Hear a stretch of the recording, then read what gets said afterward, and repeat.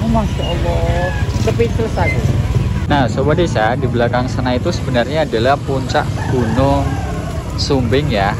Tadi di video ketika adalah gumpalan awan mendung yang tadi sudah mengguyur kota Jogja dan sekitarnya.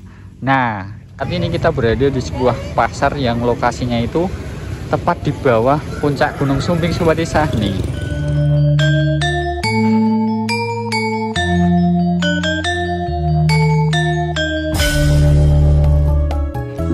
Assalamualaikum warahmatullahi wabarakatuh. Halo Sobat Desa. Kembali lagi bersama Habib dan Zahwa di Cerita Desa Indonesia Satu desa sejuta cerita. Jika Sobat Desa baru pertama kali menemukan video ini Kami mengucapkan selamat datang di channel yang akan mengajak kalian Untuk berpetualang dan bersilaturahmi secara virtual Dengan warga pedesaan yang ada di Indonesia.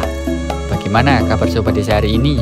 Semoga senantiasa dalam keadaan sehat, dilancarkan ibadah puasanya dan tentunya dimurahkan rizkinya. Amin amin ya robbal alamin. Aktivitas warga desa di lereng-lereng gunung sangat menarik untuk kita amati. Selain pemandangannya yang indah, ternyata aktivitas sehari-hari warga desa sangat layak untuk kita nikmati. Mulai dari kegiatan di ladang pertanian, bersekolah hingga aktivitas jual beli di pasar dengan latar belakang gunung yang sangat indah dan menawan. Dalam episode kali ini, cerita desa Indonesia akan mengajak sobat desa sekalian untuk berpetualang sekaligus bersilaturahmi secara virtual dengan warga pedesaan yang ada di lereng Gunung Sumbing. Kali ini kita disuguhkan dengan pemandangan indah aktivitas warga desa di lereng Gunung Sumbing yang sedang sibuk melakukan aktivitas jual belinya di sebuah pasar yang lokasinya tidak jauh dari puncak Gunung Sumbing. Nah ini kita berada di apa namanya nama daerahnya itu Sawitan atau kompleks pemerintah Kabupaten Magelang ya. Nah, kalau kita lihat dari sini itu Gunung Sumbingnya puncaknya itu kelihatan dengan jelas, tapi untuk yang bawah lagi-lagi lagi tertutup dengan kabut. Nah, kita penasaran nih bagaimana kondisi pedesaan di lereng Gunung Sumbing sana ketika awan ini menutupi sebagian besar tubuh dari Gunung Sumbing. Tapi sebelum kita ke sana nih, ini area persawahan yang ada di sekitar sawitan ini ya. Loh di depan kita ini ada bapak-bapak lagi. Kalau di sini namanya Daud atau e, menyiapkan padi muda untuk ditanam di e, sawah yang sudah siap untuk ditanami oleh tanaman padi. Nah sobat desa di depan kita ini ini adalah jajaran pegunungan Menoreh yang sekarang di sebagian sisi tertutup oleh mendung juga karena tadi pagi itu sempat hujan. Dan sebenarnya ini Candi Borobudur juga berada di area sini. Nah bagaimana petualangan dan keseruan kita menjelajahi pedesaan pada pagi hari ini? Kita akan lanjutkan perjalanan kita tentu saja bersama Zahwa. Dan juga motor kita ganti lagi kita pakai motor bapak lagi karena motor kita lagi dicuci. Padahal enggak ya. Ya kita ikuti terus ya sobat desa. Dadah Sobat Desa, perjalanan kali ini diawali dari pusat kota Yogyakarta pada pukul 7.30 waktu Indonesia Barat. Sebenarnya kami rencana berangkat setelah sholat subuh, tapi ternyata hujan yang cukup deras melanda pagi hari di Yogyakarta. Maka kami putuskan untuk menunggu reda terlebih dahulu. Saat memasuki kawasan Kecamatan Mungkit, Kabupaten Magelang, cuaca yang sangat cerah menyapa kami. Kondisi ini patut untuk disyukuri dengan harapan kita bisa melihat pemandangan pedesaan di lereng Gunung Sumbing dengan maksimal.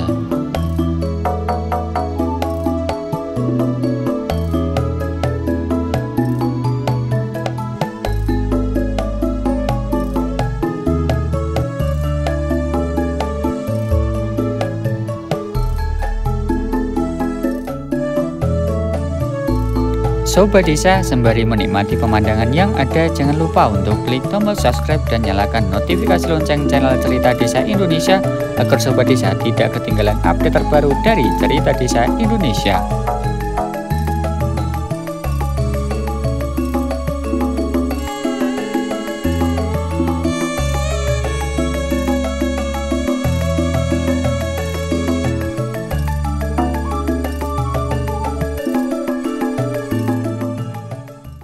Sobat Desa, tadi kita sudah memulai perjalanan dari Jogja, kemudian mampir dulu di Magelang. Nah, kita sekarang sudah sampai di Desa Sutopati. Tuh ya, kita zoom. Nah, nih namanya SUSU Sutotopati, Sutopati ya. Ini kompleks eh, apa namanya tuh? Balai Desa dari Desa Sutopati. Dan sekarang kita sudah akan mulai masuk ke kawasan lereng Gunung Sumbing Sobat Desa. Nih, kita disambut dengan Tugu Pak Tani. Nah, ini Tugu Pak Taninya ini dicat warna emas. Atau jangan-jangan ini emas beneran ya? Nah ini gambar Pak Tani bawa sabit dan juga cangkul sebagai uh, penci pencitraan. Sebagai citra bahwa desa ini itu adalah sebagai desa petani. Artinya banyak warga yang uh, berprofesi sebagai petani. Nah kita akan mencoba ke sebelah sana ke arah Wonosobo. Karena tadi pas kita lihat dari bawah tuh itu apa namanya uh, awan mendungnya sudah menutupi bagian timur Gunung Sumbing. Jadi kita akan menuju ke arah Wonosobo. Bagaimana keseruannya? Ikuti terus ya.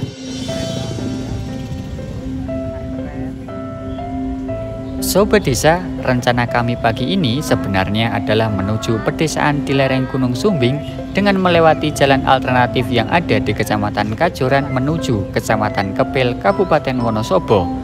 Akan tetapi, di jalan kami seakan-akan diminta untuk singgah di sebuah pasar di lereng Gunung Sumbing yang mempunyai suasana yang sangat indah. Kawasan ini ternyata masuk ke Kecamatan Kajoran, Kabupaten Magelang. Bagaimana keindahan pasar yang ada di lereng Gunung Sumbing ini? Simak selengkapnya ya video ini.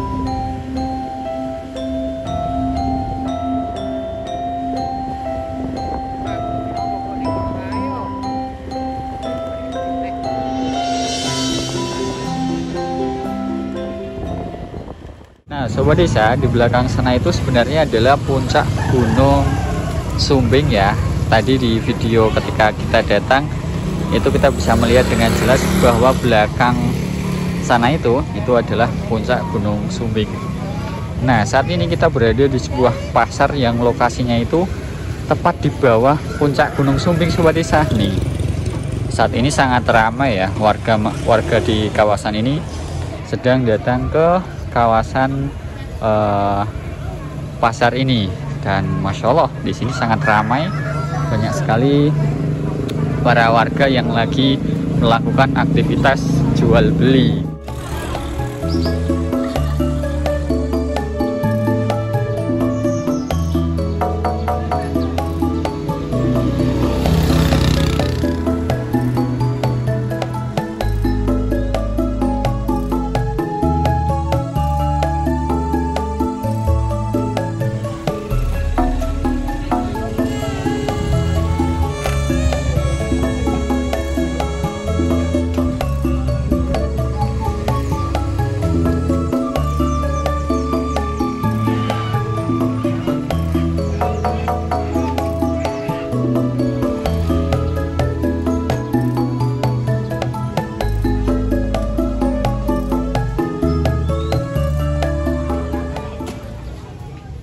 Sobat Desa meskipun di kawasan ini itu adalah pusat penghasil sayuran tapi di kawasan ini juga ada para pedagang sayuran.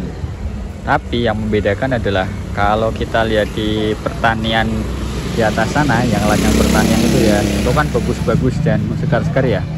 Nah tadi kita sempat melihat dan jalan-jalan di kawasan ini itu uh, ada hal yang patut kita sayangkan ya Sobat Desa jadi untuk beberapa jenis sayuran yang dijual di pasar lokal sendiri justru kualitasnya beda-beda sobat desa nih bisa lihat ya sobat desa nih jadi maksud dari kualitas berbeda itu yang dikonsumsi di sini dan yang dijual di sini itu berbeda sobat desa kalau yang kita lihat di uh, panen itu kan gede-gede ya. Cuman kalau di sini itu eh, kecil-kecil sobat desa nih ini kecil-kecil dan uh, apa namanya penampakannya pun uh, berbeda, sangat berbeda. Nah ini bisa dipastikan bahwa yang bagus-bagus itu dijual keluar, sementara yang yang uh, kualitasnya di bawahnya dijual di pasar seperti ini. Nah mungkin karena memang harganya lebih mahal yang bagus-bagus, jadi warga lebih memilih untuk menjualnya keluar daerah ketimbang dikonsumsi sendiri. Tapi tapi semoga uh, kualitas nutrisi yang ada di dalam sini tetap sama ya. Jadi warga tetap bisa mendapatkan nutrisi dan gizi dari komoditas sayuran ini dengan baik. Artinya tidak tidak berbeda jauh dengan sayuran yang mereka jual keluar. Seperti itu Sobat Desa kita akan mencoba berjalan ke kawasan ini dan melihat bagaimana ramainya aktivitas warga pedesaan yang ada di lereng Gunung Sumbing ini. Tuh macam-macam ya yang dijual di sini. Berbagai aktivitas ekonomi sedang dilakukan. Kita akan coba jalan terus ke atas. Nah kalau kita lurus ke atas sana itu itu kita bisa menuju ke kawasan Nepal kemudian Sukomakmur dan lain sebagainya. Jadi pemandangan pagi di pasar ini tuh sangat keren sobat desa. Ramai dan dengan pemandangannya seperti ini kalian akan betah kalau berlama-lama di kawasan ini. Nah kita coba naik lagi.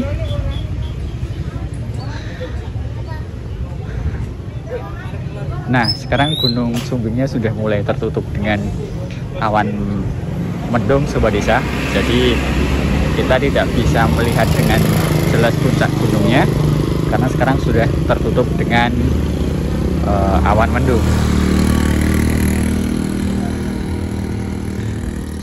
Baik sobat desa sepertinya uh, itu dulu yang dapat kami sampaikan dan kami ceritakan dari kawasan ini. Tepatnya di sebuah pasar yang lokasinya ada di bawah Gunung Sumbing. Jangan lupa untuk ikuti terus cerita desa Indonesia karena kami akan selalu menceritakan kepada sebuah desa tentang kondisi desa-desa yang ada di Indonesia. Saya Habib dan Zahwa dari Cerita Desa Indonesia. Mohon pamit undur diri. Sampai jumpa di episode selanjutnya. Sobat desa di depan kita itu adalah gumpalan awan mendung yang tadi sudah mengguyur kota Jogja dan sekitarnya. Nah, kalau untuk wilayah Sumbing di sebelah sana maksud saya adalah desa-desa di kawasan lereng Gunung Sumbing sebelah timur seperti kecamatan Windusari kemudian Kaliangkre itu sepertinya sudah diguyur hujan. Tapi sobat desa di kecamatan Kajoran di Kabupaten di Kabupaten Magelang itu masih sangat terang sobat desa tuh. Ini puncak Gunung Sumbingnya bisa kita lihat dengan sangat jelas sekali. Dan kalau kita lihat di sini ya masih ada beberapa aktivitas warga yang sedang menggarap ladang pertaniannya. Coba kita zoom ya. Nih ini warga di depan kita ini mereka sedang memanen bawang daun atau orang lokal menyebutnya dengan istilah loncang. Sepertinya mereka sudah kenal kita ya. Nah kita lanjutkan dulu. Kalau kita lihat di sebelah sana itu ya kita zoom lagi. Nah, di sana itu adalah tempat wisata yang lagi viral di kawasan ini namanya Desa Sukomakmur. Jadi kalau sobat desa lihat di Instagram ataupun di TikTok dan lain sebagainya, itu rata-rata konten kreatornya ada di sebelah sana itu. Itu adalah kawasan Desa Sukomakmur yang mempunyai pemandangan Gunung Sumbing yang sangat indah. Dan kita akan mencoba untuk melihat situasi dan kondisi pedesaan yang ada di kawasan ini. Nah, kita akan mencoba lagi ke arah yang lain, yaitu di wilayah Wonosobo, Sobat Desa. Jawa, kita kan sudah Kaliangkrik sudah, Kajoran sudah. Sekarang kita waktunya ke Wonosobo. Kalian penasaran untuk melihat kondisi pedesaan yang ada di lereng Gunung Sumbing di sisi Kabupaten Wonosobo?